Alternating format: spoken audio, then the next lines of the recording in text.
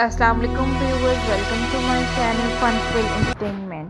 तेरे बिन के अपकमिंग एपिसोड नंबर 17 में मुजस्म को गोली लग जाती है। मलिक जो है वो उसे गोली मार देता है। ये गाँव में ही होते हैं अभी। मीरब भी वहीं होती है। मीरब को कोई नौकरानी आके बताती है कि साहब को गोली लग गई है।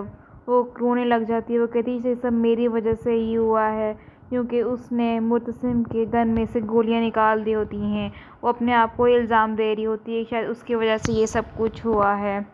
वो बहुत परेशान हो जाती है पता नहीं मुतसिम ज़िंदा भी है कि मर गया है।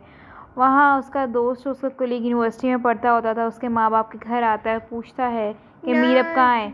उसके माँ बाप बताते हैं कि मीरब की तो शादी हो गई है। वो कहता है ये नहीं हो सकता वो तो मुझसे मोहब्बत करती थी। उसके माँ बाप कहते हैं उसने लेकिन कभी बताया नहीं। वो कहते हैं, हमें हैदराबाद जाना चाहिए, हमें मीरब के मुँह से सुनना है कि असल क्या है, हकीकत क्या है। वो वहाँ आते हैं तो वो होती नहीं है उधर।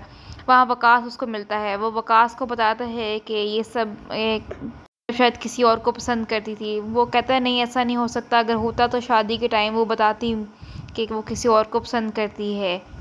माँ बेगम को शक हो जाता है कि कोई बात है, वो पूछती हैं कि कोई अगर बात है तो मुझे बता दो, मैं उसकी सास तो हूँ लेकिन दुश्मन तो नहीं हूँ। हमने अगर कुछ किया है तो कहती है कि मुझे बताओ, लेकिन वो अभी कुछ नहीं बताते और उन्हें नहीं पता होता मीरब और मुतसम के साथ पीछे क्या हो रहा है गाँव में। मीरब का बाप बहुत गुस्से में होता है, वो कहता है, अगर उसने एतराफ़ कर लिया तो मैं उसे कभी बेटी नहीं मानूँगा। यही किस ख़त्म हो जाती है। प्लीज़ सब्सक्राइब माई चैनल ताकि आपको पता चल सके ड्रामा इंडस्ट्री में क्या हो रहा है।